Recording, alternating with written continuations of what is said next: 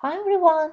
For the rest of the picture I decided to switch to Prismacolors and my first task here is to find matching objects like I can use gold for the goblet, for the compass, for the shield and also for the small pitcher and also for the small necklace here.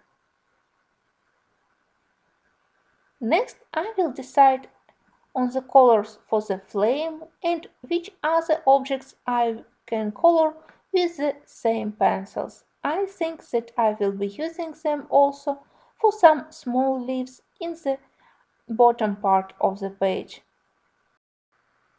After I color all golden objects and also bright flame, I will be coloring details on the picture which I called insignificant for the story, objects which are not very important. So they will be just the fillers. And I won't be using any bright colors for them in order not to overwhelm the whole picture. So I will be using pastel yellow, pastel green, dark bright and I will color all leaves and branches. Next when I select colors for the dragon and for the roofs of the castle, I also have to think about which objects I have on the left part of the spread because I intend to color both pages in similar colors in order for them to really nicely match together. So I think that for the roofs I will be using aquamarine, light blue, bright turquoise colors and the same colors I will be using for the gemstones. It will be easy for me to find some objects on the left page which, for which I can also use the same colors. And for the dragon I decided to go with magenta.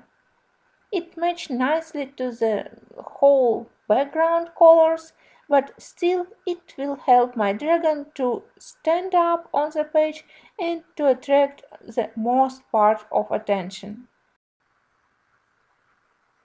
I will be using deco yellow throughout the page for the tips of the leaves, for the breast of the dragon, for the tree trunk and in this way repeatedly using this color for different objects I will get in the end well-balanced image where all different objects are tied together.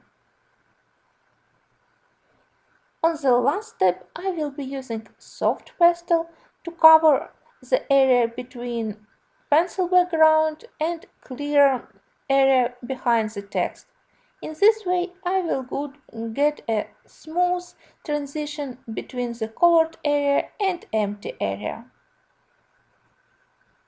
If I accidentally cover my clouds and area behind the castle, I will use my kneaded eraser. It's the best thing to delete excessive soft pastel. And of course, I will be using light touches of my golden gel pen to add some sparkles to the fire and also to the area around house mouse. Just to attract attention. She is so small that, she definitely needs some help to be visible on this page. If you like this right part of the spread, of course later we will be coloring also the left part. Thank you for watching.